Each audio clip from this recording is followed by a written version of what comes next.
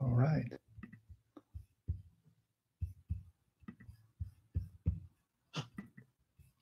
Is the lighting bad, guys? How's the lighting? Is this, I think, yeah, too bright? Okay. Let me turn around. Hold on.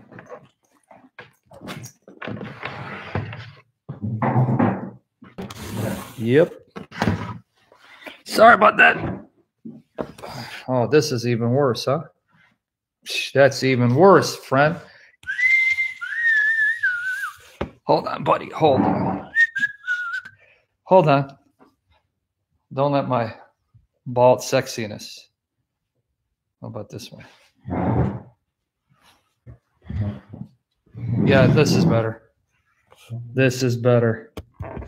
Can I ask you guys a question and be honest with me? I need you guys to be honest with me. As I get my health back. Hey, 1611, on your way to heaven. Can I ask you guys a question and be honest, okay? Let's see. All right. I need you to be honest with me. Hold on. Why am I so handsome? Can you tell me? I mean, the more, I mean, before I couldn't stand looking at myself. Now I just can't get enough of myself. Look, man, why am I so handsome? And being so good looking, I don't envision myself staying single for too long. I'm just the catch. You know what I'm saying? So I'm being humble. I think I'm just the best catch for any woman. No, I'm just kidding. Okay. Sorry, man. This shirt. Because I've lost weight, the shirt's falling off my neck. All right. Anyway, good to see you. Like I said, until I get my own place, which will be sooner than later in Jesus' name, I'm going to be doing live streams sporadically, meaning I won't be able to have a set time because I'm at my brother's place. So pray for him and his wife for their graciousness in hosting me until I get my own place by the grace of the Lord Jesus Christ. So they just left. Because they left, I have about two hours. Doesn't mean I'm going to take two hours, but thank you, Lisa. Thank you. Definitely are handsome. That blesses my heart. Thank you. Thank you so much. Anyway, so the, here I am, and Lord Jesus willing, here's what I like to do if it's God's will for my life. If the Lord Jesus is pleased to continue to use me until the Lord returns or takes me home, what I like to do is continue writing articles, rebuttals for my blog, continue doing live streams, providing in depth exegesis of the scriptures, going in depth on the biblical foundation for the core doctrines of the Christian faith, taking the common objections by anti-Trinitarians and or anti-Christians against the authority of the scriptures and the core doctrines of the faith and provide thorough refutations of those objections by the grace of God's Spirit. In fact, uh, let me encourage you. Let me encourage you guys.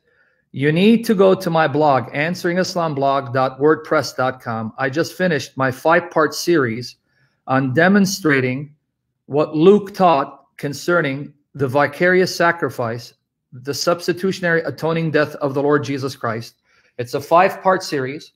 I also came up with, I forgot how many rebuttals to Islam and Muhammad, but you guys got to constantly go to the blog because I'm constantly updating it. Study the arguments, pass on the information, and use it in your witness and glorifying Jesus Christ and exposing Islam. Duhawu. Why do you keep telling me CP will be live in an hour? Do you want to go there? Go. He's my brother in Christ. I have to come on when I can. So will you keep telling me he's going to be live in an end? Okay, let's shut down. Guys, I'm going to shut down because Duhahu is telling me that CP is going to be on in an hour. Okay, guys, see ya. Why are you telling me? Right. So go to answeringislamblog.wordpress.com. I want to continue the series on demonstrating the deity of Jesus Christ from what's called the Synoptic Gospels Matthew, Mark, Luke, as well as Acts, because the same author who wrote Luke wrote Acts. So, by the grace of the child, as the Lord Jesus blesses the internet connection to stay strong, glory, Lord, please bless this internet connection and anoints me to speak truth, I'm going to show you that all four gospels, right? Okay, all four gospels, starting with Matthew, Mark, and Luke, which I'm going to start examining what those gospels have to say, describe Jesus Christ either in his own words and or actions or what they say in respect to the words of Christ or his actions as Jehovah God of the Old Testament, that he's Jehovah God Almighty who became a flesh and blood human being, distinct from the Father and the Holy Spirit. Is that clear? This is the best we have. The internet, this is the best we have because my brother doesn't have high speed internet. So I'm not going to burden him and say, get it for me.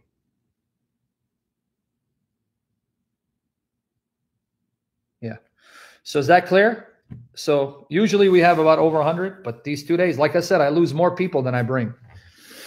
Anyway, God's will be done. I pray He transforms me, crucifies my flesh, saves me from my weaknesses, imperfections, and my flesh. Fill me and everyone with fruit from the Spirit, life and power from the Holy Spirit to walk in the Spirit for the glory of Jesus Christ. So I don't be unnecessarily offensive, right? As you can tell, I, you know, I don't shy away from going for the jugular. Okay. So let's trust that God will bring whomever he wants to listen. And let's pray the Lord Jesus will bless the YouTube channel so I get more subscribers, more like, so that more people get exposed to this information and use the information to glorify Jesus Christ, refute the attacks on the faith, and win people to Jesus Christ, right? Thank you, Ron. I'm glad. So, hey, Maureen Dahi, I just talked to your sister, Dahi. Exactly, Maureen. Because I'm a handsome Jilu. Pray for me, Maureen. For that young woman. Pray for her too, in Jesus' name. You know what I'm talking about. Anyway, Andrew, sorry, man, that I missed you, but this is how it's going to be until I get my own place. So, but you can listen to the archive and then share your comments. Now, if you guys are ready, I want to begin in prayer by the grace of the Lord Jesus Christ. And then we go into Matthew and Luke's witness to Jesus being Jehovah God Almighty in the flesh. Because yesterday's session, I talked briefly about what Matthew said in relation to Jesus being God Almighty in the flesh, Jehovah of the Hebrew scriptures.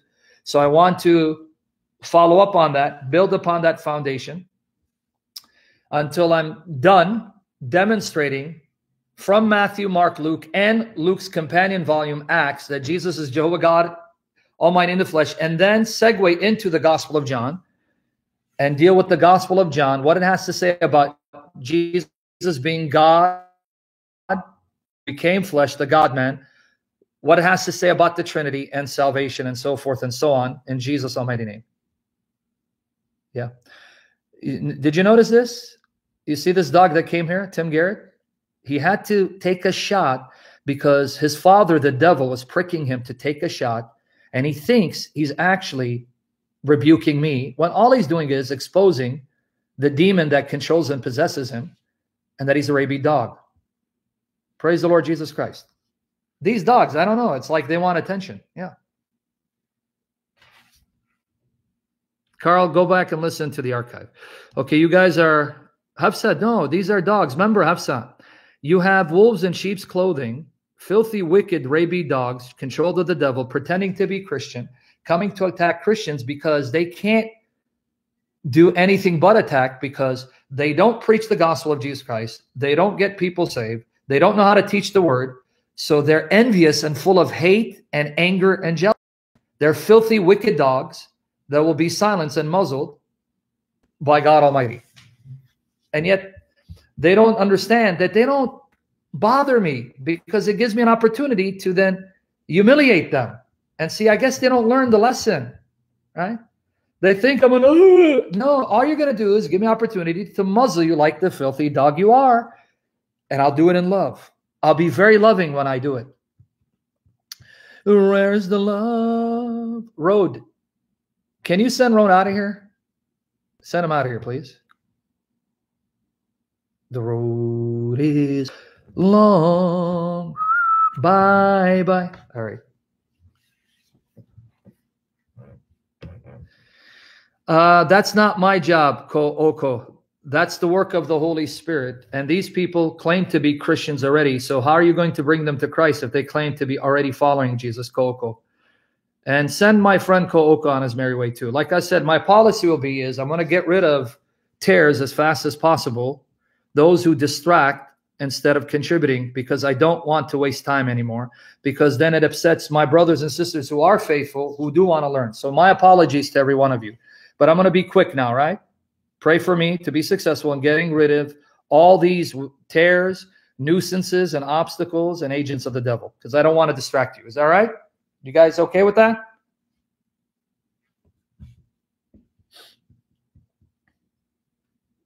Is that all right? Because I know it bothers you and it becomes a stumbling block to you who are here to learn with an open heart by the grace of God. So sorry about that. I'm going to try to be quick. People already know what the rules are. I've already stated over and over again in all these sessions what I expect from people who come here. And if you don't want to respect those rules, that means you want be of the devil to distract, and you're going to get muzzled and thrown off the page because I don't want you here. You know, I don't know. People, I don't know how much more clear I can make it. Okay. So with that said, Father, we love you. We praise you. We love and praise your Son, the Lord Jesus. We love and praise your Holy Spirit. And Father, please, I ask that you save us from our flesh. Save me from my flesh. In those areas that grieve your spirit, save me and crucify my flesh. Give us power of your spirit to walk in the life of the spirit, to be filled with fruit of the spirit. And Father, please help me to be patient and not retaliate, but to trust in you as you are patient with us. Wash us in the blood of Jesus Christ. Anoint this session.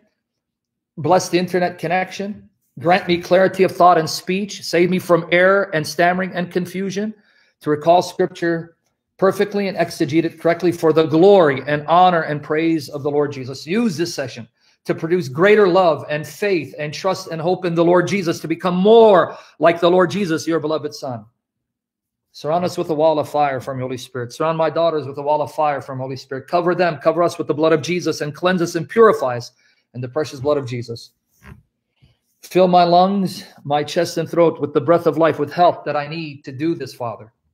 Anoint the sound of my voice to be pleasing to the ears of your servants. And Father, bless this YouTube channel for your glory. You don't need me, we need you. Bless it, Lord. Bring more people who have open hearts to hear and to learn by the power of the Holy Spirit, Father. We love you. We praise you. We love your Son, the Lord Jesus. We love your Holy Spirit. Holy Spirit, have your way and guide the conversation for the glory of Jesus. In Jesus' name. Amen. Jehovah, Father, Son, Spirit. Jehovah, Father, Son, Spirit. All right. Hallelujah, Father, Son, Spirit. Jehovah, Father, Son, Spirit. Jehovah, Father, Son, Spirit. Okay. I want to discuss again the Synoptic Gospels, particularly their testimony concerning Jesus Christ being Jehovah God Almighty in the flesh. Now, this is the third part in the series. And God willing, I will return.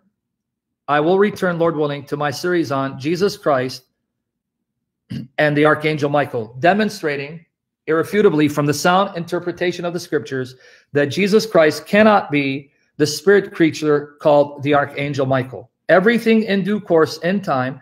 Pray for me to become more like Jesus in the way I live, the way I love, the way I worship, the way I serve, and that God will give me favor in this state and bless me abundantly. there are some issues I just can't be public with, all right? But the Lord knows my needs and my desires and to bless my children and bring them to me for his glory, for the glory of Jesus, right? So now, why is it important to demonstrate that Matthew, Mark, Luke, and Acts proclaim that Jesus is Jehovah God in the flesh? Why is that important? Because it is common among liberal, critical, biblical scholars, and it's common among Muslims. This is a common objection raised by all of them that the earliest strains of gospel tradition, when you go to the earliest sources on the life of Jesus and his teaching, what you find is a Jesus that's more human than divine. And as time evolves, as time elapses, the picture of Jesus becomes bigger and bigger, so that by the time you get to the Gospel of John, Jesus is depicted as a pre existent divine being. You understand the objection? Do you understand what the objection is? In other words, if we take for granted that Mark is the first of the Gospels written, and John is the last of the four Gospels. What you see in Mark is not Jesus being portrayed as Jehovah God Almighty in the flesh, as Holy Spirit anoints my mouth and gives me clarity of thought and speech to do justice to these topics. You find a semi-divine or a merely human Jesus that superly naturally, supernaturally, Holy Spirit, loosen my tongue for the glory of Jesus, supernaturally empowered human vessel of God. It's not until you get to the Gospel of John that you find Jesus depicted as a pre-existent, meaning a divine being who existed before he became human and the agent of creation. Right? This is an argument used by Muslims such as Shabir Ally and those who follow his example. Now, Bart Ehrman used to believe this, but Bart Ehrman has changed his position. He now admits that all the documents of the New Testament and all four Gospels do depict Jesus as God Almighty, but in different senses, in different ways. Yes, Stephen. But Bart Ehrman, Stephen Baptiste, does not believe that the Jesus of Mark is a pre-human divine being. In other words, he does not think that Mark portrays Jesus as having existed before he became flesh. Though Mark does portray Jesus as God in some sense, the sense in which he portrays Jesus as God is different from the way the Gospel of John does it. You with me there? Stephen Baptiste? Just want to make sure that though Ehrman admits all four gospels depict Jesus as God, they don't do so in the same way. They depict Jesus as God, divine in some sense, but not in the same sense. Right? He distinguishes between two main types of Christologies. You have the exaltation Christology, where Jesus is made God and equal to God in status, either at the baptism or the post resurrection exaltation of Christ into heaven. And then you have what he calls incarnational Christology, where Jesus existed before he became a flesh and blood human being as a divine being with the Father who then became man. Right? So everyone understand what Bart Ehrman is arguing for? And first class, as soon as you see an agent of Satan, a dog of Satan trying to distract, just block.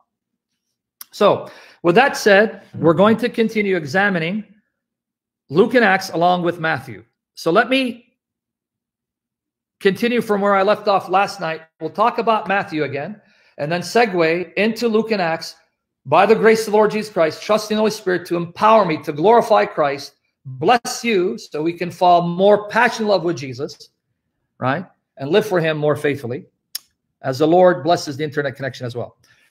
If you remember last night, we, we explained Matthew 28 20. So let's start where I left off and let me reiterate the point I made in last night's session because whether we like it or whether we like it or not folks we are creatures of repetition we have to hear things repetitively over and over again until by the grace of God's Spirit, it becomes second nature. So we can recall that information and use it in our witness to glorify Christ, right?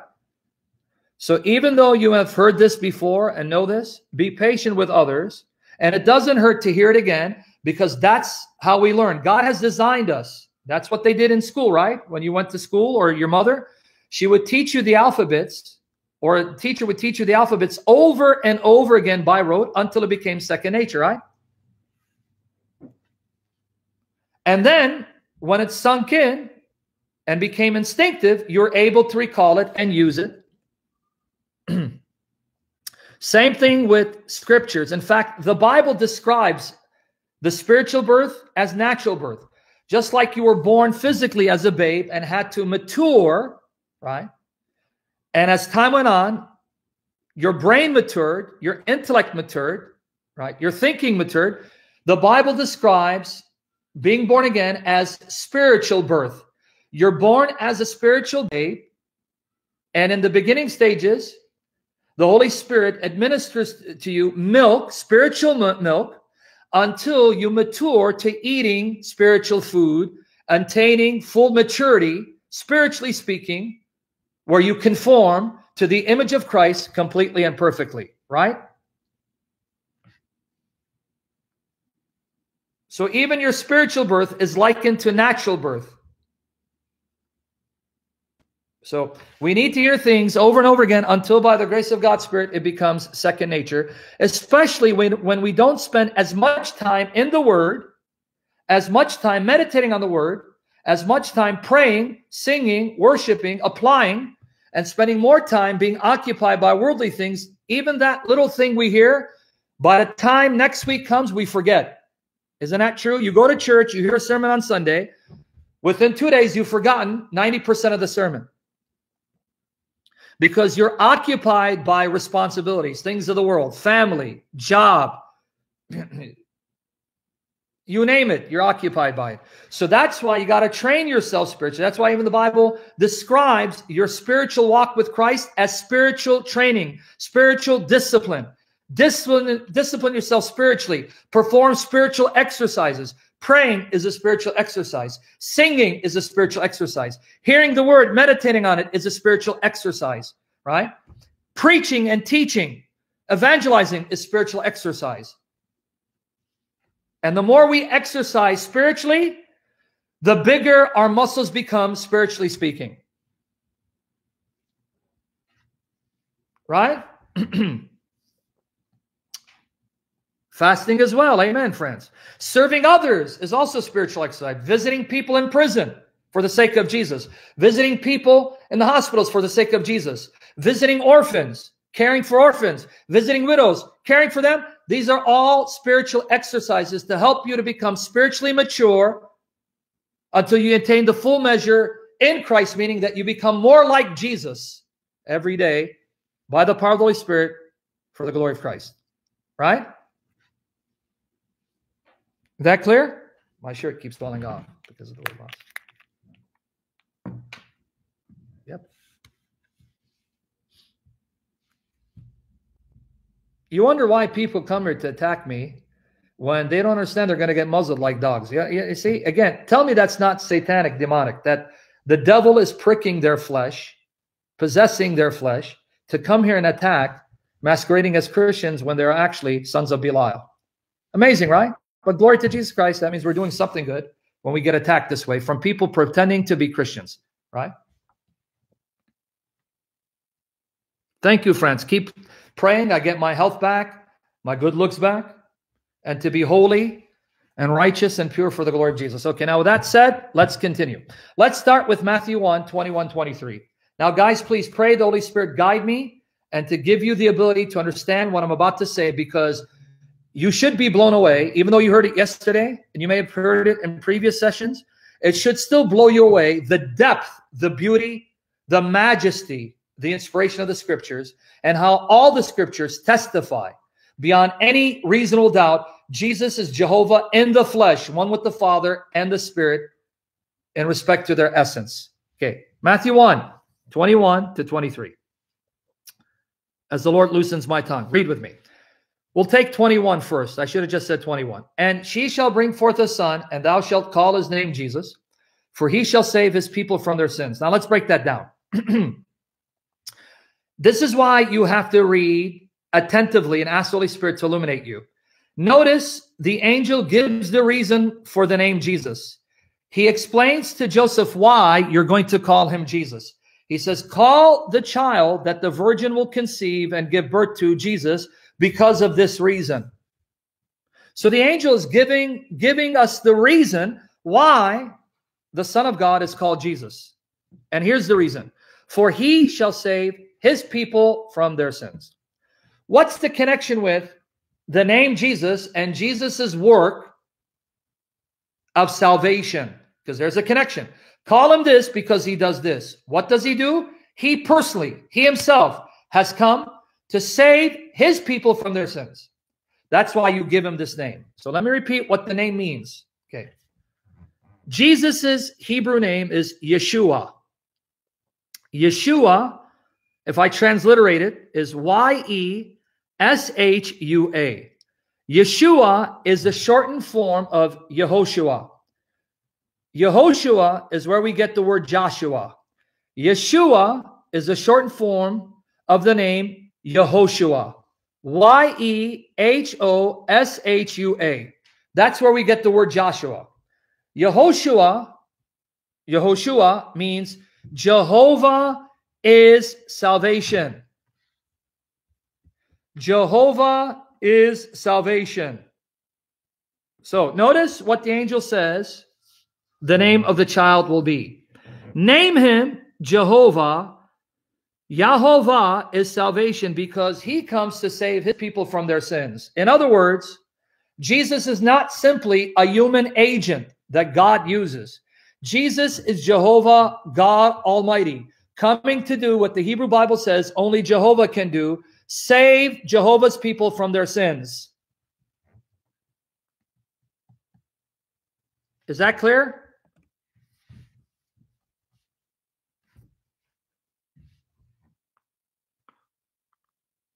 Now, let's cross-reference Matthew 121 with Psalm 130, 7 to 8. Matthew 121 with Psalm 130, verses 7 to 8.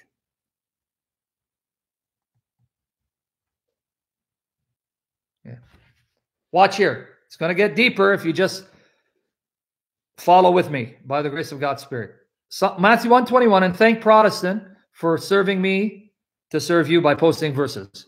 Matthew 121, then Psalm 130, verses 7 to 8. Guys, pay attention. And she shall bring forth a son, and thou shalt call his name Jesus, for, because he shall save his people from their sins. He himself is doing the saving from sins. But now read Psalm 130, 7 to 8. Let Israel hope in Jehovah. Let Israel hope in Jehovah.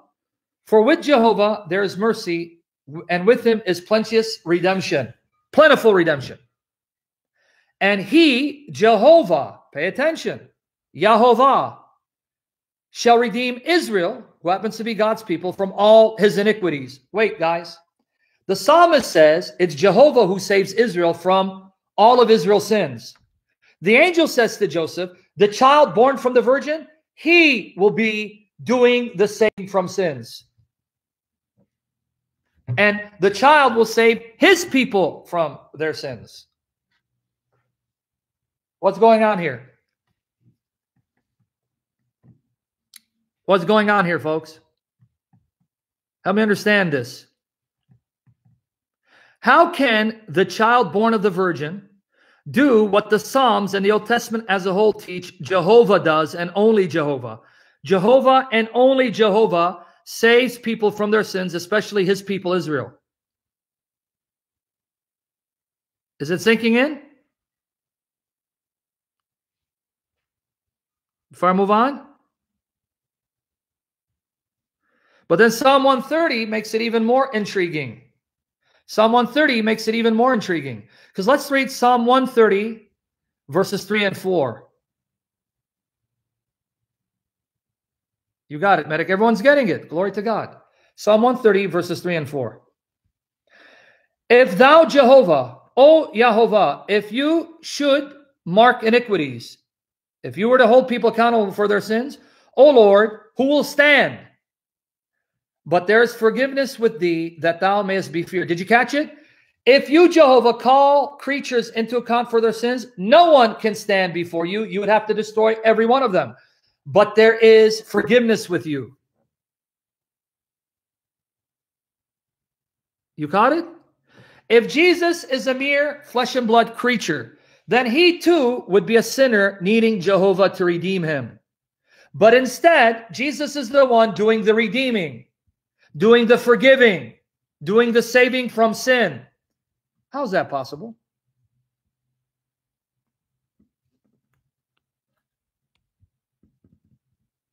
Did you guys catch it? Is it sinking in? Think about it, medic. No, I'm not the best. It's the triune God who enables me and empowers me to do what I do, Alex. So give him the glory and pray for my preservation for the glory of Jesus. Okay? Okay, now, think about it. Oh, here goes Haterwood. Let me guess, Haterwood. You're going to do another live stream from Israel. So you're going to take the 50 viewers I have and add them to the 2,000 that you got watching you. Okay? And by the way, Haterwood, don't forget, huh? November 20, 22nd. It's on you, baby. You're gonna bring me up because you're you're you know Daddy Warbucks. You and George Soros got something going on. All right, now Medic, think about it. Are you listening, Medic? Okay, thank you. Thank you. Okay, Medic, think about it. We should do be doing some live streams then. Okay, all right. Why should you fear Jehovah knowing that if Jehovah were to call you an account for your sins, he would destroy you righteously? He would destroy you and bring judgment upon you righteously because you would deserve it. So, in asking the question, I answered it for you, medic. Knowing that God is all powerful and there is no creature that can stop him if he wants to destroy anyone, and knowing that you deserve to be destroyed, but he chooses to show you mercy, should you walk nonchalantly or with fear and reverence, knowing that this God can destroy you, but constrains himself and chooses to love you?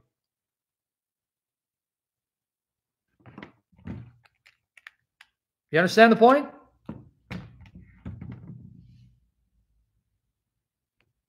Do you understand why it says you should fear him? Knowing he's almighty, and if you bring all creation together, he could wipe out the entire creation in a nanosecond, and there's no one that could stop him or resist him.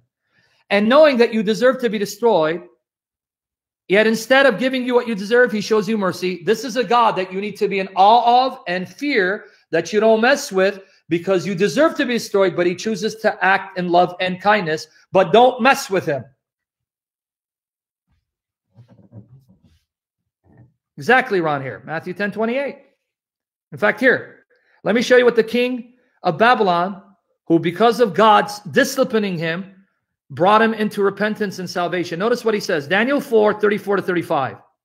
Exactly, Franz Thoma. It is a fearful thing to fall into the hands of the living God. Daniel 4 34 to 35. Watch here. Daniel 4 34 35. And at the end of the days, I, Nebuchadnezzar, lifted up mine eyes unto heaven, and mine understanding returned unto me, and I bless the Most High. And I praise and honor him that liveth forever, whose dominion is an everlasting dominion, and his kingdom is from generation to generation. Now, medic, everyone else, pay attention to verse 35 and all the inhabitants of the earth are reputed as nothing. They're nothing to him. And he doeth, he does according to his will in the army of heaven and among the inhabitants of the earth, and none can stay his hand or say unto him, What doest thou? Did you catch it? There is no one who can say, What are you doing? Because he answers to no one. Right? Now let's look at Isaiah 40, verse 17.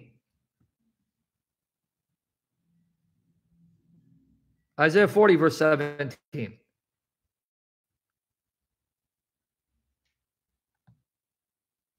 Okay. All nations before him are as nothing. They are counted to him less than nothing in vanity. I didn't know there was something less than nothing, but the Bible says there's something less than nothing, and that's what we are in God's sight. Meaning, God doesn't need me, doesn't need you, doesn't need creation. He can wipe us out in a nanosecond, and there's no power that can stop him. And he would continue to be God in all his glorious majesty and infinitude. So the fact that he would even care about maggots like us, humble himself to enter creation and take on our nature and love us to the extent that he does, that's mind blowing and humbling. In light of the fact he doesn't need us. You know what to do with on, right? Don't wait first and last. Thank you, brother. It makes you love him more, stand in more awe of him, and see how great is his love in light of the fact that you just read you are less than nothing because he doesn't need you at all. Clear? Matthew 10 28. Matthew 10 28.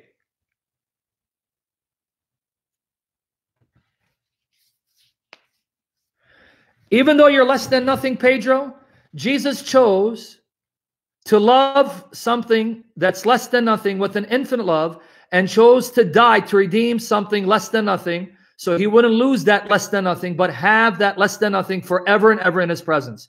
And though he doesn't need us, Matthew 10 28. And fear not them which kill the body, but are not able to kill the soul, but rather fear him which is able to destroy both soul and body in hell. That's who you should fear. Fear him because he can do it, but chooses not to. In fact, he even chooses to plead with you, beseech you, and beg you, don't make me destroy you. I don't. I don't want to destroy you. I want to save you. I want to bless you. I want to heal you. I want to love you. I want you to be flooded in my love. I want to drown you in my love. Why then do you keep provoking me to anger when I don't want to hurt you?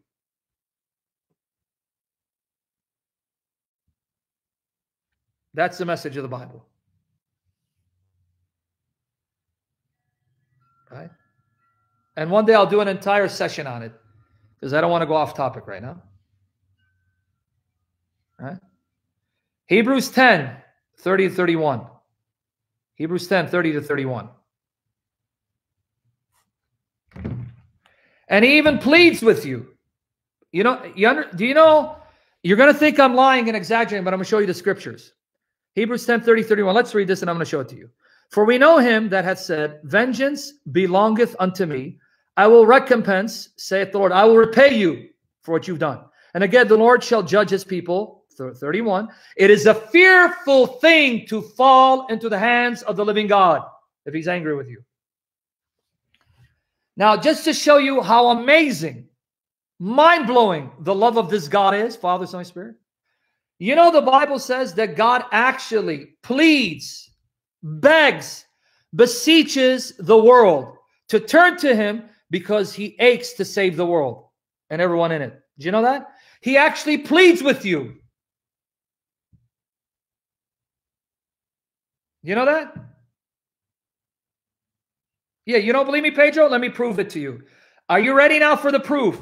So someone says, oh, blasphemy. God forbid. I'm not blaspheming. I'm quoting Paul, inspiration of the Holy Spirit. Hear the words of inspired scripture. God actually pleads and begs and beseeches the world to turn to him. Let me prove it to you. Second Corinthians 5, 19 to 20. Second Corinthians 5, 19 to 20. And you're no human being. You're a seven, seven-headed dog, filthy dog of Satan. Second Corinthians 5, 19 to 20. Read. To wit, that God was in Christ. Pay attention. God was in Christ, reconciling the world unto himself, not counting, not imputing their trespasses unto them. Unto them. Now watch. Watch what Paul says. And hath committed unto us the word of reconciliation. Now then, we are ambassadors for Christ, as though God did beseech you by us. We pray you in Christ that be ye reconciled to God. See what he's saying? We are the ambassadors of Christ, and we're beseeching you, imploring you, begging you on God's behalf for the sake of God. God speaking through us to tell us, to tell you, be reconciled, please.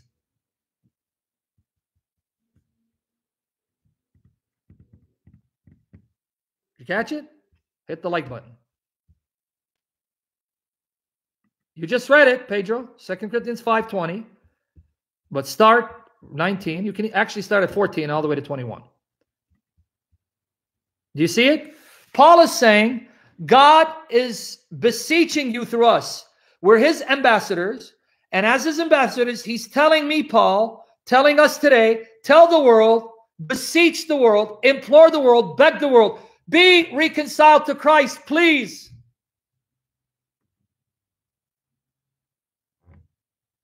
You see that? So was I lying? Was I making it up? Hit that like button, folks. Was I lying? Was I making it up? Right?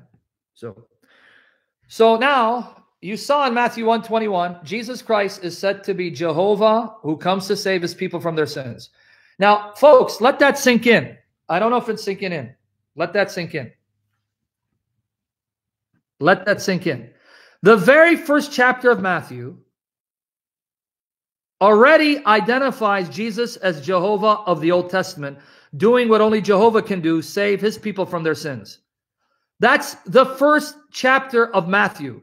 Can you imagine what else Matthew is going to go on to say about Jesus in the rest of the chapters?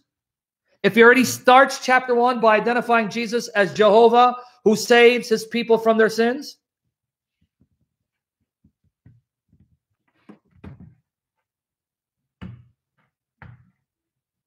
Is that amazing?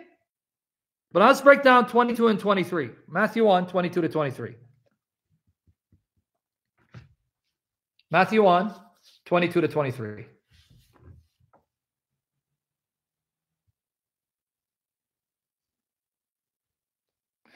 Now all this was done that it might be fulfilled, which was spoken of the Lord by the prophet, saying, Behold, a virgin shall be with child and shall bring forth a son and they shall call his name Emmanuel, which being interpreted is God with us. Now, I'm going to give you the link to the Greek interlinear. Here it is. And I'll explain this by the grace of the Lord Jesus Christ. Here you go. Here's the Greek interlinear. Okay. Click on this. Click on that. I want you to see what the Greek words for God is. Okay. Click on it. It's right here. Meth hemon ha theas. Meth hemon ha theas. The Erasmian butchering of Greek. With us, ha theas. Or as the Greek would say it, o theus. O theus. O theus. Meet? Imun? O theus. All right. Do you see? It's ha theos, meaning the God. Not just a God or divine being, but the God has come to dwell with us. You understand what Matthew just said? The blessed mother of our Lord Jesus, the Virgin Mary, conceived by the Spirit and gave birth to a human baby while a sexual virgin. And that human baby is the God who comes to dwell with us. Wow. So you mean in the very first chapter of Matthew, Matthew identifies Jesus as Jehovah who comes to save his people from their sins, as the very God, the God of heaven, who now has come into the world being born as a human baby. First chapter. Let me give you the link again. Is it sinking in or no? And you're telling me it's only the Gospel of John that identifies Jesus as God Almighty? Life, keep using everything from here for the glory of Christ. Discard anything that's wrong. Okay. Are you with me there? Okay, but wait, wait, it gets better. How do we know? How do we know that Matthew is saying that the child himself, that babe who was born from the virgin, that human baby is in actuality Jehovah God in the flesh, that he is the God who comes to dwell with us. How do we know he's saying that? How do we know that's what Matthew's telling us? Because if you remember yesterday, I'm going to repeat it again today. If you remember yesterday, I'm going to repeat it again today. Okay. There is a literary feature, a literary device that's used by the New Testament authors called bookend. Guys, remember this, please, and let me know if you're getting confused or you're understanding. Also known as inclusio. Okay. What is an inclusio? A bookend. A bookend inclusio is a literary feature where the author ends his writing by repeating, reiterating a theme or a point that he made at the start of the writing. Okay. In other words, the author ends his book similarly to the way he started it. He begins his book by saying something that he reiterates, repeats at the end of the book. That's why it's called a bookend or an inclusio. Do you understand this feature?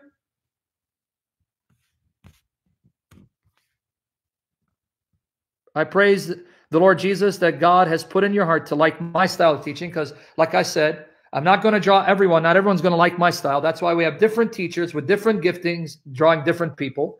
And it's an honor to serve you and your husband, everyone here for the glory of Jesus. Okay, do you understand what a bookend is now? An inclusio, do you understand? A writer will end his book, his writing, by repeating, reiterating a point, a concept, a theme that he began with. Is that clear? Because now, if it's clear, let's show you Matthew's bookend. Matthew 123 and Matthew 28 20 back to back. Matthew 123 and Matthew 8, 28 20 back to back. Matthew 123 and Matthew 28 20. Yep, Riaz, 100%. Revelation does it as well. Let's see if you catch the bookend. Let's see, those of you are astute by the grace of God's Spirit, let's see if you catch the bookend. Behold, a virgin shall be with child and shall bring forth a son. They shall call his name Emmanuel, which being interpreted is God with us. Notice verse 20 of chapter 28, the last verse of Matthew. Jesus speaking now, teaching them to observe all things whatsoever I have commanded you. And lo, I am with you always. I am with you always, even unto the end of the world. Amen. Did you catch the bookend?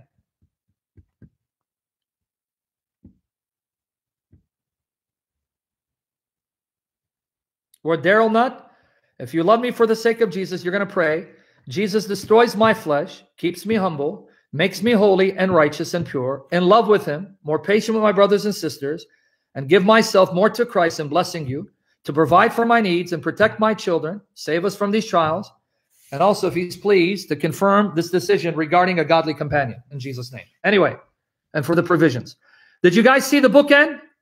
Matthew 123 says, The virgin gave birth to a child, a son, and he is God with us. And then the, the gospel ends with Jesus saying, I, I myself am with all of you to the end of the world. So is it clear from the bookend, from the conclusion of Matthew, that Matthew intends to describe Jesus himself as the God of heaven who comes to dwell with us and remain with us till the end of the age. So that is Jesus whom Matthew is calling Ha Theos, the God. Is it clear? No, he's not a distinct deity in the Trinity. There's only one deity in the Trinity. There's only one God, one deity, Rebecca. He's a distinct person in the Trinity. Is that clear? Everyone getting it?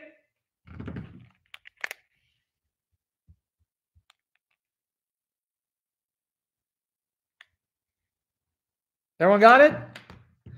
So Jesus is saying, I will personally be with every one of you, not physically. Physically, he's not here. His physical body is glorified in heaven, and he'll come down in that physical body at the end of the age. But personally, he's with us, watching over us, sustaining us, guiding us, and preserving us. And he's with us in union with the Spirit. In other words, if you have the Spirit of Christ, then you have Christ with you and the Father with you. So, did you see how much meat in just the first chapter of Matthew?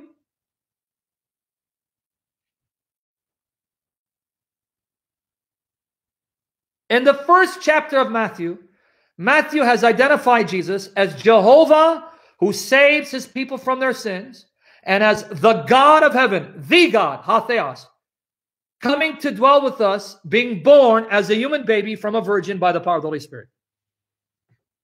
That's just the first chapter, folks. Clear? Before I move on to the next point?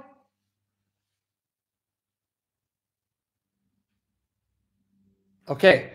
If that's clear, then I want to go to Luke chapter 1 and see does Luke do something similar? Does Luke do something similar in that he begins the gospel by identifying Jesus Christ as God Almighty. Okay?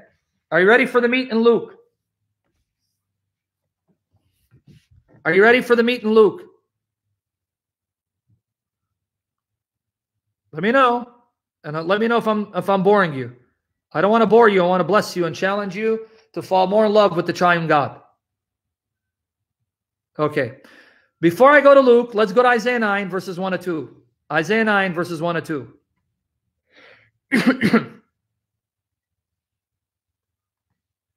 Isaiah 9, verses 1 to 2.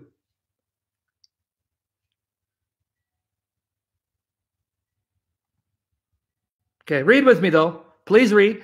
Nevertheless, the dimness shall not be such as was in her vexation, when at the first he lightly afflicted the land of Zebulun and the land of Naphtali, and afterward did more grievously afflict her by the way of the sea beyond Jordan, in Galilee of the nations. Pay attention. Galilee of the nations, Galilee of the Gentiles, beyond the sea, beyond Jordan. Don't forget, Galilee of the nations. But then notice verse 2. What's going to happen in Galilee? Galilee by the Jordan, what's going to happen? Read verse 2. The people that walked in darkness have seen a great light. They that dwell in the land of the shadow of death, upon them hath the light shine. So, what's going to take place in Galilee in the future? A great light will shine to those who are living in darkness, right? Are you catching it? Are you catching it? Galilee of the nations, a great light shining on those who are in darkness. Okay. Let's see what Zechariah, filled with the Holy Spirit, utters as he praises God upon the birth of his son John.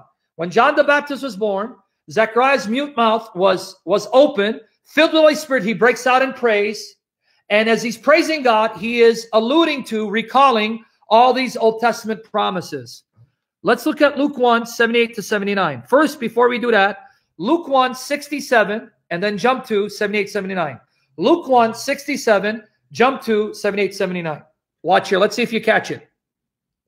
And its father, Zacharias, was filled with the Holy Ghost, filled with the Holy Spirit, and prophesying, saying, pay attention, through the tender mercy of our God, whereby the day spring from on high hath visited us, to give light to them that sit in darkness and in the shadow of death, to guide our feet into the way of peace. Sound familiar?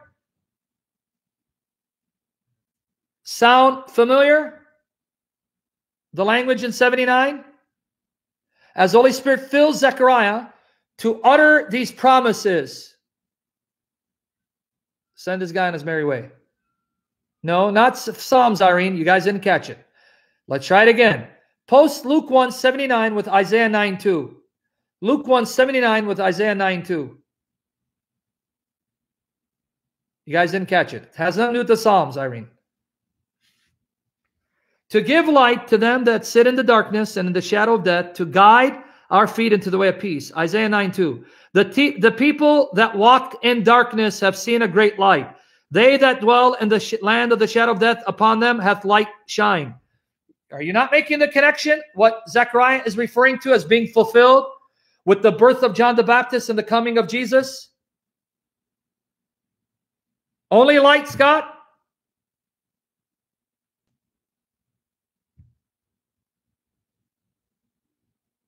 What bookend? You guys are all confused. Oh my goodness, you're going to kill me. I'm going to die of a heart attack to be with Jesus. What bookend, Rebel? Bookend takes place at the end of the book. What bookend? Let's try it again.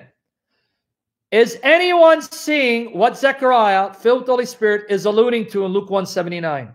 Some of you saw it. Post it one more time. Luke 179, Isaiah 9 2. Okay. Zechariah filtered, notice what he says in 79. To give light, notice what he says 79. To give light to them that sit in darkness and the shadow of death, to guide our feet into the way of peace. Now, notice Isaiah 9, verse 2. The people that walked in darkness have seen a great light. They that dwell in the land of the shadow of death, upon them hath the light shined. Does anyone see the connection?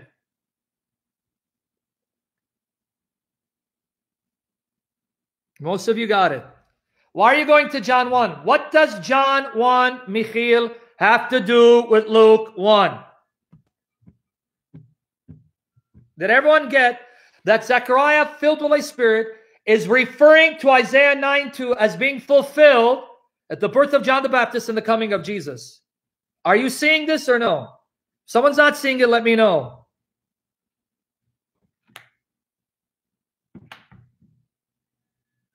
Who's not getting it?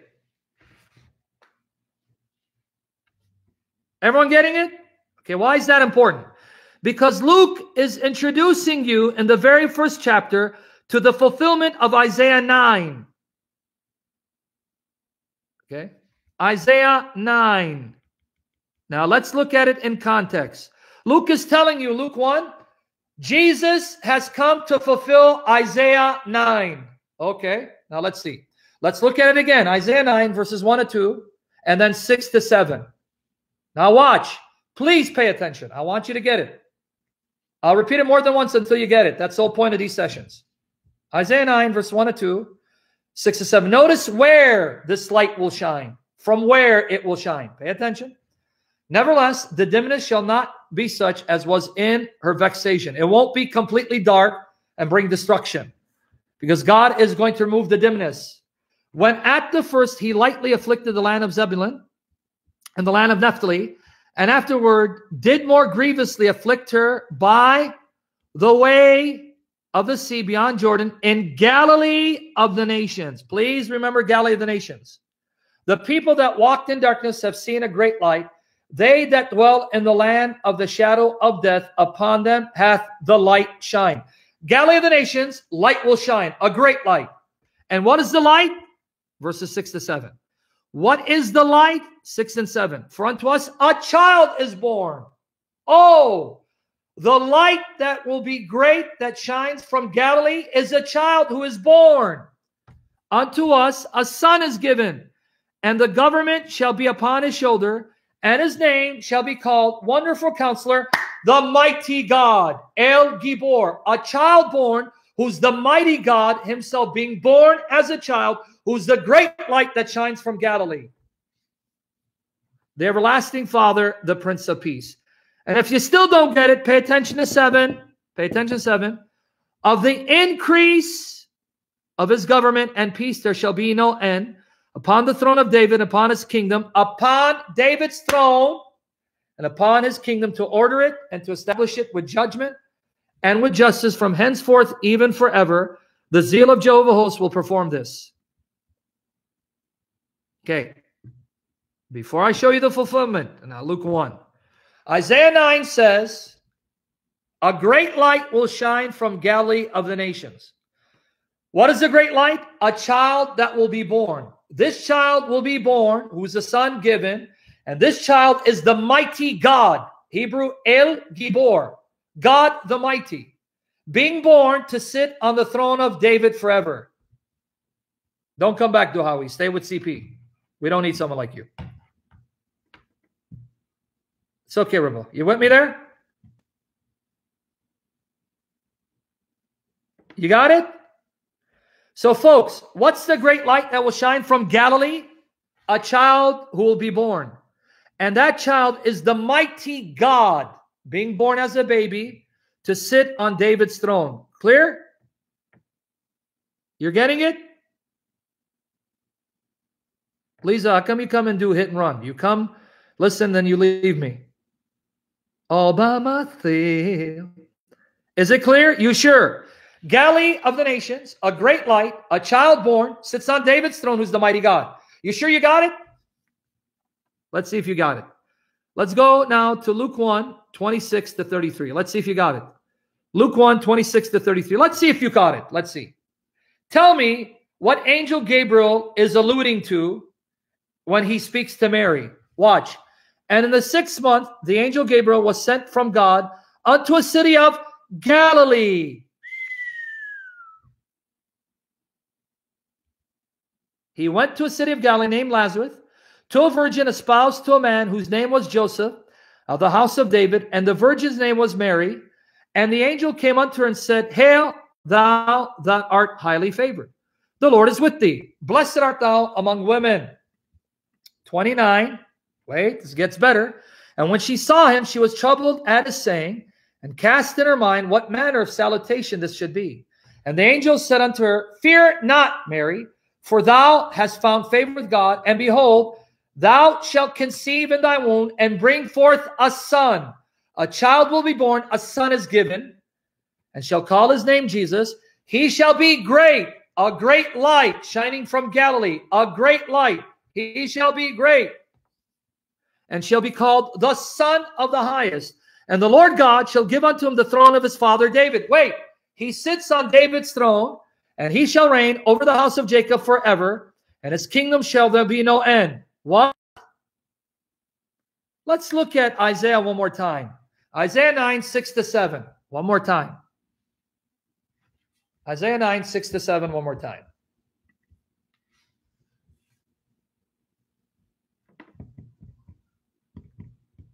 For unto us a child is born, a son is given. Whose son? The Son of the highest. And the government shall be upon his shoulder, and his name shall be called Wonderful Counselor, the Mighty God, Everlasting Father, Prince of Peace. Of the increase of his government and peace, there shall be no end upon the throne of David and upon his kingdom to order it and establish it with judgment and with justice from henceforth even forever. Amen. Now let's look at Luke 1 32 33 again. Luke 1 32 33.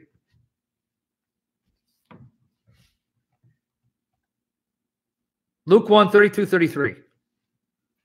He shall be great and shall be called the Son of the Highest, and the Lord God shall give unto him the throne of his father David and he shall reign over the house of Jacob forever and ever. Of his kingdom shall, shall be no end.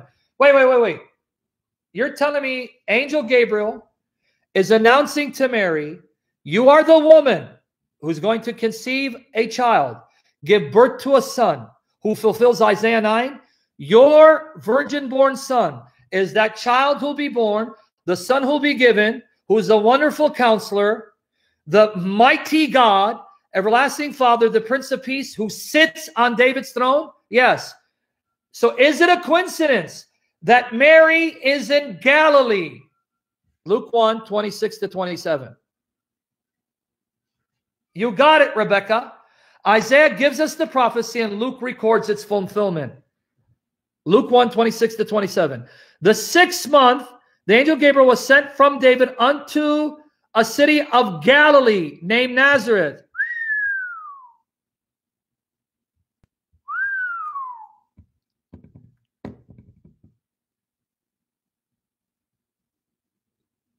Did you catch what happened in Luke 1? Or no?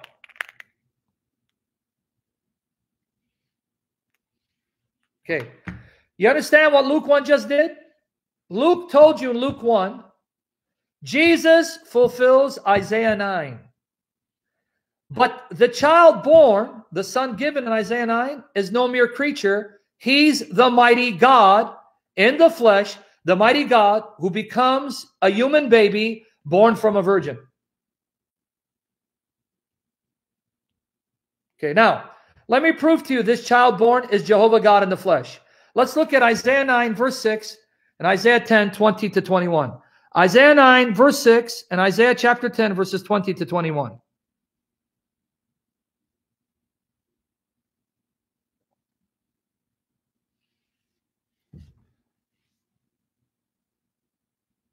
Isaiah 9 6, pay attention. For unto us a child is born, unto us a son is given, and the government shall be upon his shoulders, and his name shall be called Wonderful Counselor, the Mighty God, Everlasting Father, Prince of Peace. Notice he's called the Mighty God. Now watch Isaiah 10 20 to 21. Isaiah 10 20 to 21. Guys, the same phrase, El Gibor, Mighty God. Notice Isaiah 10 20 to 21.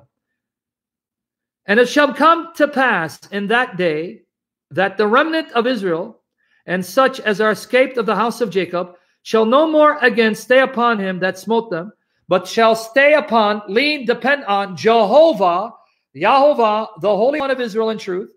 The remnant shall return, even the remnant of Jacob, unto the mighty God. Guys, did you catch it? The child born is called the mighty God. Jehovah is called the mighty God. Now do me a favor, post Isaiah 9, 6 and Isaiah 10, 21 back to back. Isaiah 9, verse 6 and Isaiah 10, 21 back to back.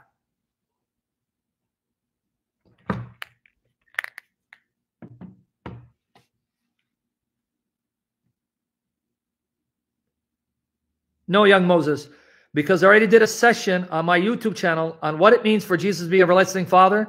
And I wrote an article on what it means for Jesus to be everlasting Father. Go and read the article and watch the session. Okay, read with me again. The child born is a son given. He's the mighty God. Read it, mighty God. But then Isaiah 10 21, Jehovah is the mighty God. Child is born, he's the mighty God, El Gibor. Jehovah, he's the mighty God. But wait, in Isaiah 43 10 to 11, I'm told there is no other God besides Jehovah. Isaiah 43 10 to 11. There is no other God besides Jehovah. Isaiah 43, 10 to 11. You are my witnesses, saith Jehovah, and my servant whom I've chosen, that ye may know and believe me and understand that I am he. Before me there was no God form, neither shall there be after me. I, even I, am Jehovah, Jehovah, and beside me there is no Savior. Isaiah 45, 5 to 6. Isaiah 45, 5 to 6.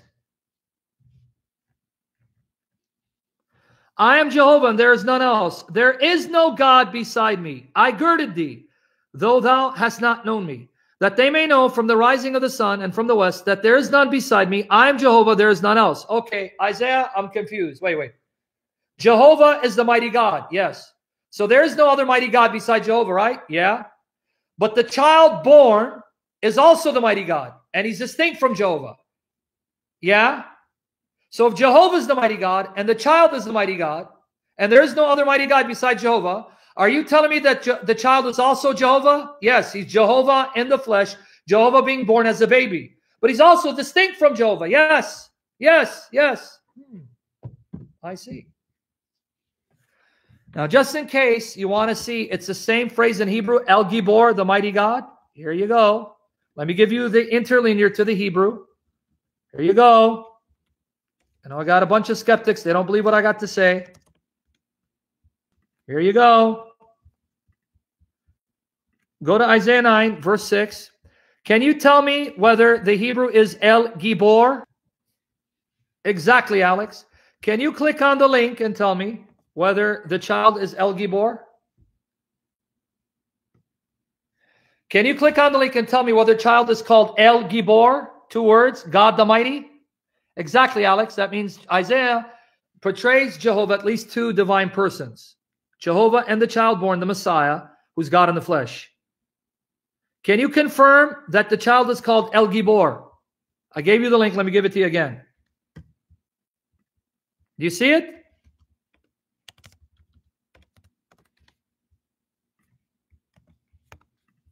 Everyone see it? Okay. For those of you who already see it, here's Isaiah 10 21. Isaiah 10 21. Here's the link. It's BibleHub.com, the interlinear provided by BibleHub.com, an excellent online resource. Use it. Go there. Can you tell me whether Jehovah's called El Gibor? There's the link. Whether Jehovah's called El Gibor.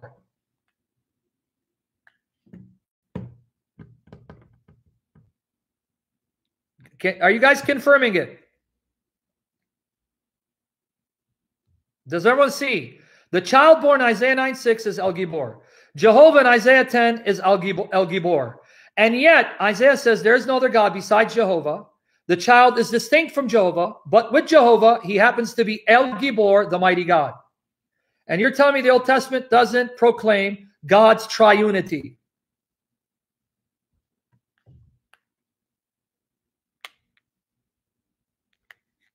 Is it everyone getting it now? So, folks, here's my question. Here's my question for those of you listening, following along.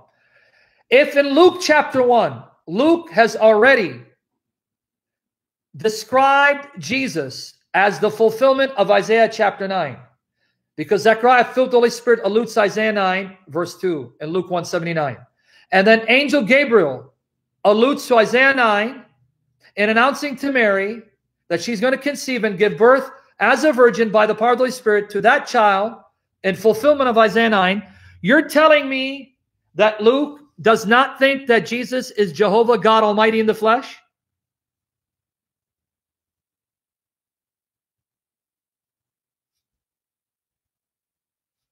So you're telling me it's only in the Gospel of John where Jesus is identified as Jehovah God Almighty in the flesh, but Luke doesn't describe him as God Almighty in the flesh. Matthew doesn't describe him as God Almighty in the flesh. And wait till we get to Mark. You're going to be blown away by Mark as well. So, do you see clear, irrefutable proof from Matthew and Luke and Acts, in the previous sessions, that these writers, inspired by the Spirit, portray Jesus as Jehovah God of the Old Testament who now appears as a flesh and blood human being. Are you getting it? I am going to do John 1, God willing. This is all in preparation for John 1, medic. Oh, yeah. You're going to be blown away. I promise you. If after you hear these series and still end up denying the Trinity or walking away from the faith, then I'm telling you, you deserve the judgment that will fall upon you because God is now giving you irrefutable proof. The Bible is His Word, God is real, and Jesus is God in the flesh, your only hope of salvation. You guys are getting meat by the grace of God's Spirit. And if you still turn away and reject the Lord, you deserve what you get. I deserve what I get. We have no excuse. But in Jesus' name, by the power of the Holy Spirit, we will never turn away. We'll be kept for the glory of Christ. Right? Now, let me really blow you away. Let me really blow you away. Amen. May the Lord Jesus hear your prayer for all of us. You really want to get blown away with Luke 1? You really want to get blown away? Thank you, friends. Provide for me, save me, keep me holy in love with him.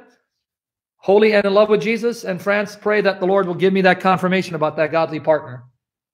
Okay? All right, now, you really want to be blown away? Luke 1, 41 to 44. Luke 1, 41, 44. Guys, this is where I want you to just pay attention. Get blown away. Be humbled and moved in your spirit. This is why people think I'm becoming Catholic or Orthodox. It's not. I'm being biblical. Watch. Watch this. And it came to pass that when Elizabeth heard the salutation of Mary, she heard Mary's voice. The babe leaped in her womb. John was six months pregnant in Elizabeth's womb. He was six months old in the womb. Okay. He leaped in her womb. And Elizabeth was filled with the Holy Ghost, filled with the Holy Spirit. Notice what she says. And she spake out with a loud voice and said, Blessed art thou, you, you are blessed among women, and blessed is the fruit of thy womb. Side note, folks, did you know no one told Elizabeth, no human agent, no human creature told Elizabeth that Mary was pregnant? Do You know why? Because Mary had just gotten pregnant recently and no one knew but Mary and the angel that she was pregnant. But here, so that Mary would have no doubt, pay attention here. God is now giving supernatural confirmation to Mary. You are not hallucinating, Mary. You did see an angel and you are pregnant with the eternal Son of God in your womb. You did conceive the human nature, the physical body of God's beloved Son in your womb by the Spirit. And I'm going to prove it to you. Elizabeth will greet you and tell you that you're with child. Something Elizabeth could not have known if God didn't make it known to her. Third party confirmation. Because Mary just walked in. Elizabeth, how do you know I'm pregnant? No one knows but me because I saw the angel. The same angel told me that you're coming, you're pregnant with my Lord, my Savior, my God, and I greet you.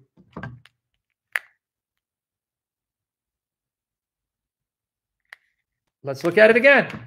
Luke 1, 42 to 43. Let's post Luke 1, 42, 43, 44. Watch here. Watch here. And she spake out with a loud voice and said, Blessed art thou among women, and blessed is the fruit of thy womb. Now, here's where it touches me. Here's where it moves me 43 and 44. And whence is this to me? What honor is this to me? The mother of my Lord should come to me. Elizabeth, yes. Mary just conceived, maybe less than a week. Jesus is less than a week old in his mother's womb. And already Jesus is Elizabeth's Lord. And notice the honor. What honor that the mother of my Lord would come to me. The mother of my Lord. You're carrying my Lord in your womb. My Lord dwells in your womb. My Lord tabernacles in your womb. And what an honor his mother comes to see me. But watch this 44. You didn't post 44, Protestant. 44. Watch here. 44.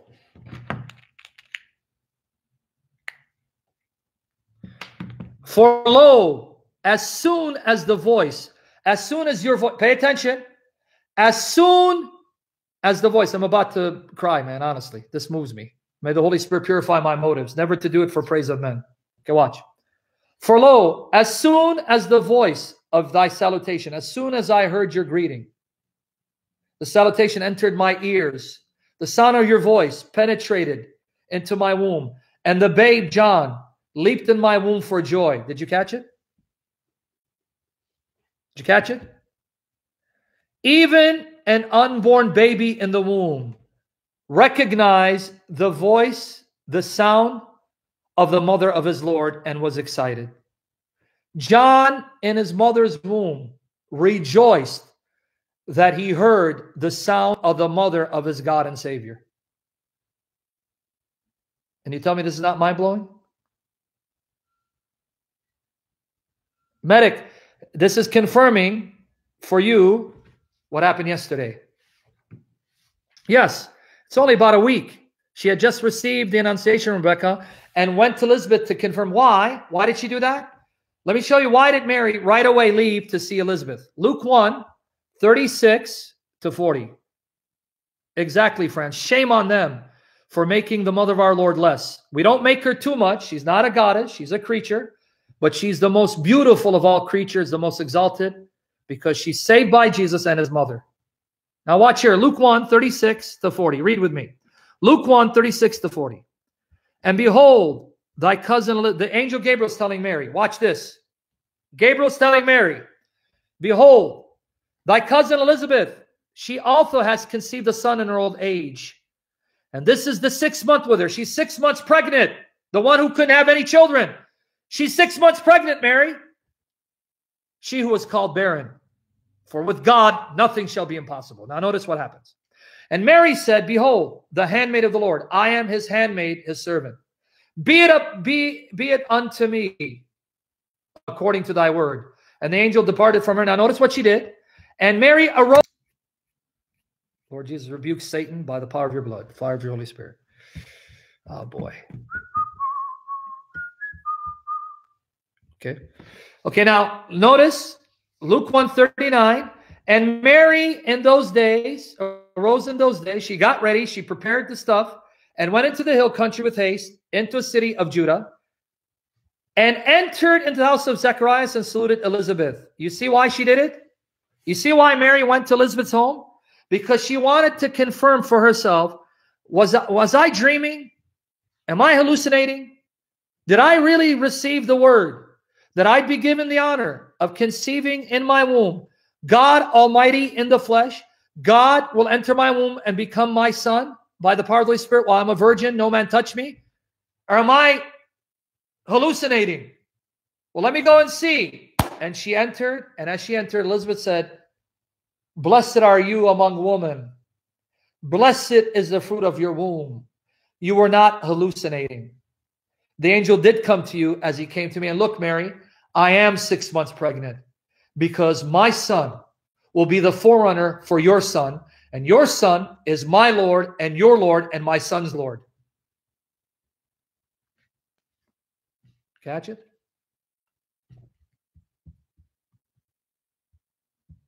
You catch it or no? Is it sinking in? Before I move on? Is it sinking in? Yep. Now let me explain to you the significance. This shows you that God is giving supernatural confirmation for Mary you're not hallucinating. You did see an angel. You are now pregnant with the mighty God, El Gibor, the everlasting Father. He's now in your womb to become human. Number two, these passages destroy abortion and show that it's murder. Notice Jesus is already Elizabeth's Lord, even though he's only been conceived about a week, showing from God's perspective from conception is where life begins. And John is six months old in his mother's womb. And as a six month unborn child, he can discern the voice of the mother of God and rejoice, meaning that even children in the womb can discern sounds, which medically has been confirmed now. Did you know that? Medically, it's confirmed that a baby already discerns and identifies the sound of her, her or his mother.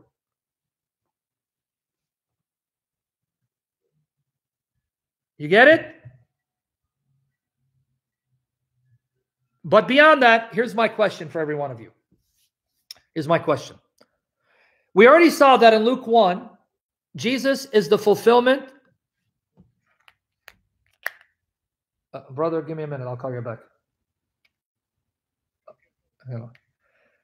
Jesus is the fulfillment of Isaiah 9, right? In Luke 1. Luke 1, Jesus fulfills Isaiah 9, verses 1 to 2, 6 to 7, where a great light will shine from Galilee of the nations. And that great, great light happens to be a child who'll be born, who's a son given, who's the mighty God, a title for Jehovah, showing that child born is God Almighty in the flesh, right? We established that, right? We established that Luke 1 has presented Jesus as the mighty God of Isaiah 9. Okay. So let me ask you a question. Zechariah knew that Jesus is the fulfillment of Isaiah 9 because he alludes to it.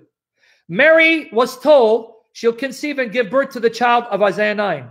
Elizabeth was already told that's who Mary will be, the mother of that child of Isaiah 9, the mighty God.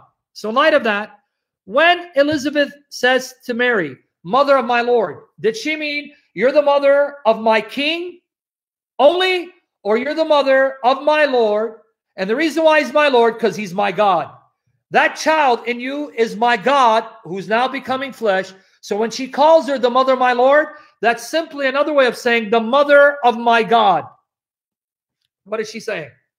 Mother, of my Lord, meaning just my king, my master, or mother, my Lord, meaning the God of the Old Testament, the mighty God is in your womb. You're the mother, my Lord, and that that child is my God.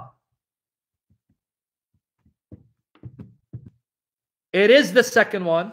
There's no way around this, contrary to any Protestant, even though I am Protestant in many areas. She's saying, the mother, my Lord, meaning the mother of my God. Therefore, Orthodox and Catholic are right. Orthodox and Catholic are right. She is the mother of God.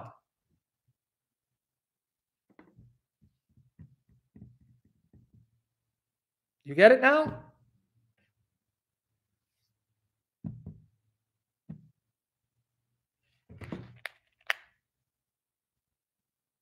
She is the mother of God. You see how much meat we impact from Luke 1? Want me to do this? Let me just do this real quick. Okay. You see how much meat? Yeah, Mary's only human. She's the mother of God in that she gave the mighty God his physical body and human nature.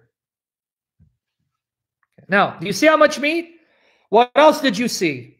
You saw how Luke 1 destroys abortion, abortion and shows that it's evil, it's murder, because from God's perspective, the child conceived in the womb is a human life from conception. That's what God says, end of story. Abortion is murder. We condemn it to the pit of hell in Jesus' name. Why should we accept Catholicism?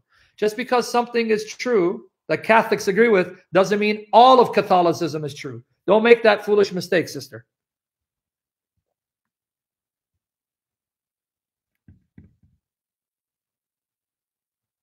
Hafsa, you thought wrong because you were poisoned by Islam and Muhammad, because that's what Islam teaches. A baby is a life from conception. That's what the Bible teaches. And you better fight for the right of the child the moment it's conceived in the womb. You fight for the right of the unborn child. You are their voice. Oh, sorry, Angela, I didn't know that. Is that clear? So you see the point, right? Did we just provide irrefutable proof from Matthew 1 and Luke 1 that both these authors, by inspiration of the Holy Spirit, because we believe they're inspired, identify Jesus as Jehovah God Almighty in the flesh, distinct from the Father and the Holy Spirit? Distinct from the Father and the Holy Spirit. Yeah, I'm sure about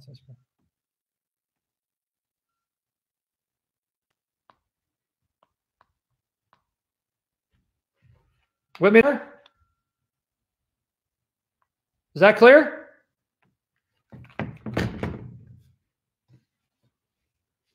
Is that clear? Matthew 1, Luke 1 clearly present Jesus as Jehovah, God of the Hebrew Bible, who became born as a baby from his blessed virgin mother, because they both affirm the virginal conception and birth of the Lord Jesus from Mary by the power of the Holy Spirit. They both do. Matthew 1, 18 and 120. Let's look at it. Matthew 1, verse 18 and verse 20 and Luke 1, 34, 35. Matthew 1, verse 18, verse 20, and Luke 1, verses 34 to 35. Well, you, you won't need to forget it, Cass. It's now archived. Subscribe to my YouTube channel. Re-listen to these videos. Pass them on to others. Bless them. Okay. Matthew 1, 18 and 20. Now, the birth of Jesus, Christ was on this wise, in this manner. When, as his mother Mary was espoused to Joseph, before they came together, she was found with the child of the Holy Ghost. She was found child from the Holy Spirit. Matthew 120. But while he thought on these things, behold, the angel of the Lord appeared unto him in a dream, saying, Joseph, thou son of David, fear not to take unto thee Mary thy wife, for that which is conceived in her is of the Holy Ghost. Luke 1 34 35. Then said Mary unto the angel, How shall this be, seeing I know not man? And the angel answered and said unto her, The Holy Ghost shall come upon thee, and the power of the high shall overshadow thee. Therefore also that holy thing which shall be born of thee shall be called the Son of God. So not only did she conceive while a virgin, she gave birth while she was still a virgin. Matthew 1, 24, 25. Matthew 1, 24, 25.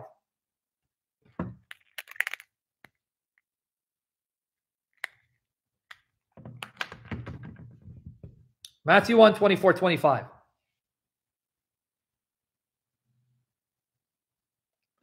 Then Joseph, being raised from sleep, did as the angel of the Lord had bidden her, and took unto him his wife. Now notice 25.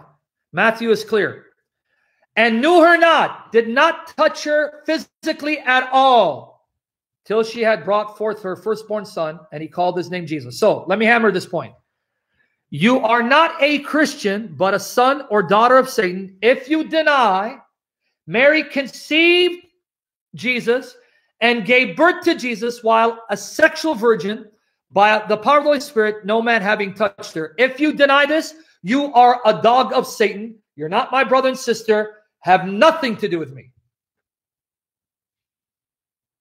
All right? Clear?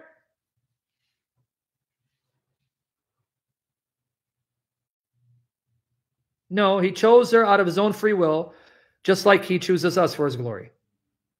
Okay, now, let me now blow your minds away because I may mention one other point or we'll do part four, which we'll do part four, God willing. But I don't know if I bring up another point, but here's what I want you to think about. Yep, tribe of Judah. Here's what I want you to think about. Think about this. Since Matthew Luke portrays Jesus as Jehovah God Almighty, and because he's Jehovah God Almighty, that means he's the creator, sustainer, life giver of all creation, which means he created everything on earth, which means Jesus created his mother and gives her life. Now, let me break that down. Jesus is the only human being in history who can say, I'm older than my mother, and I even created her and chose her to be my mother. He's the only one who can say, I chose who my parents would be, and I'm older than my parents, and I gave them life and created them to be my parents.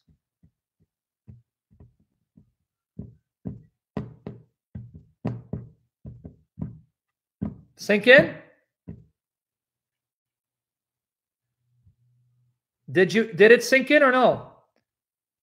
Jesus is the eternal Son, one with the Father and the Spirit. That means at a point in time, Father, Son, and Spirit came together and said, It's now time to create the human mother of the Messiah. And they created and fashioned her in her mother's womb. And then when she came out of her mother, Jesus in heaven is watching that young baby and saying, That's my future mother. And he's watching her, overseeing her, protecting her, preserving her from all harm until the day comes and he says, It's time for me to enter her womb.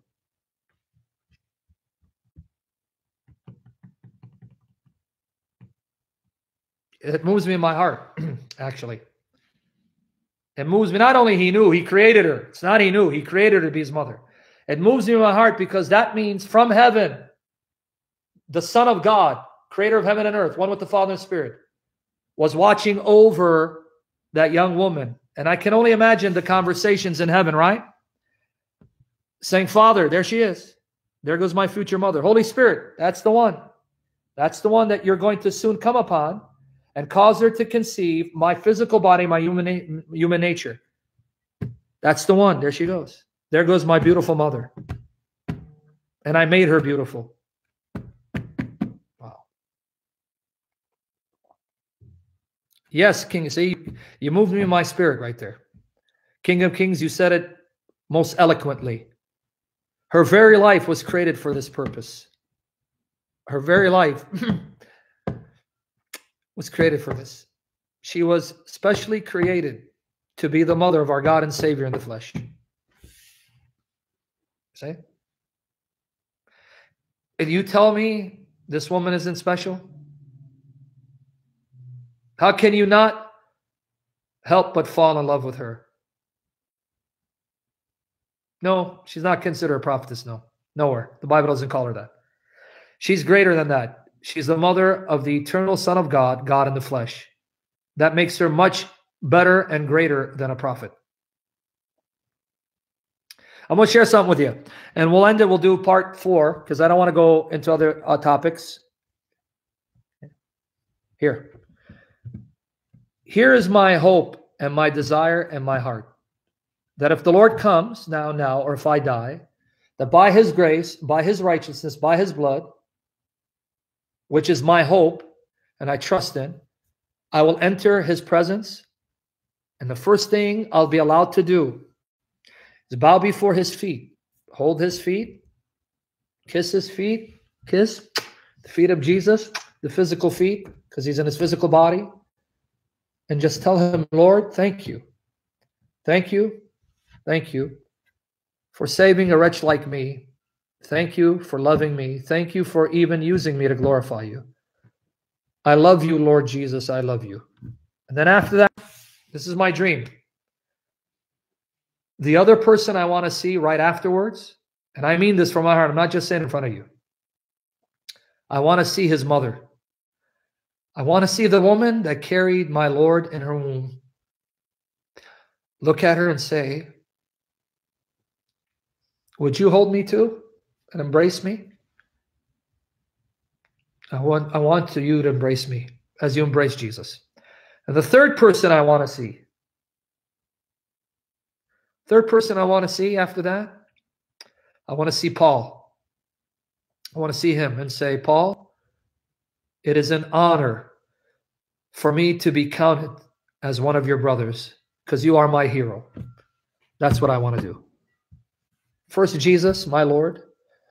Then I want to see his blessed mother and tell her, I love you. I love you. I love you more than my mother.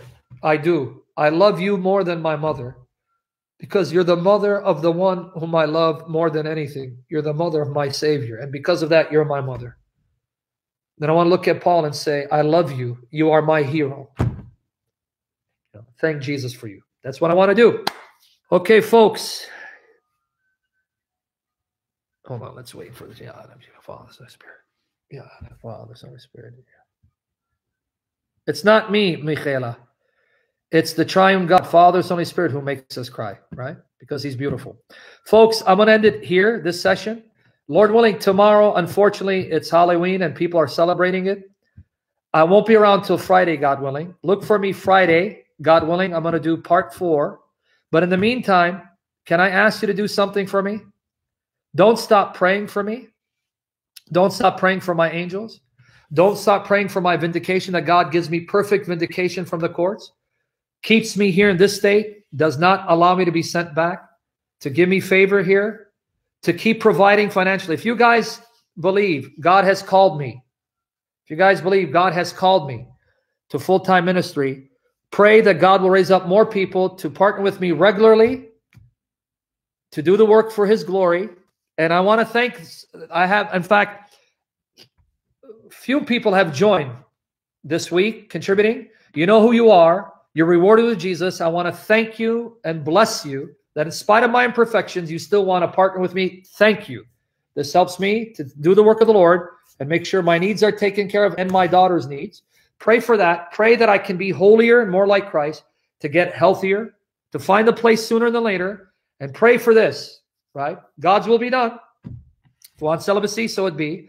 But I do feel in my heart there may be someone. Ask the Lord to show me if I'm right and to make it clear to that other person as well, right? He knows who it is, and I just trust you with that. Pray in Jesus' name. And remember, Christ has died, Christ is risen, Christ will come again because he is Yahovah, Jehovah, God Almighty, El Gibor, the mighty God, the God of heaven, who became flesh to dwell with us and remains with us till the end of the age, to the glory of God the Father. We love you, Father, Son, and Spirit. We love you. Preserve us for your glory and never let us go. Preserve my daughters and fight for them. In Jesus' name. Love you guys. God bless you. Christ is risen, risen indeed.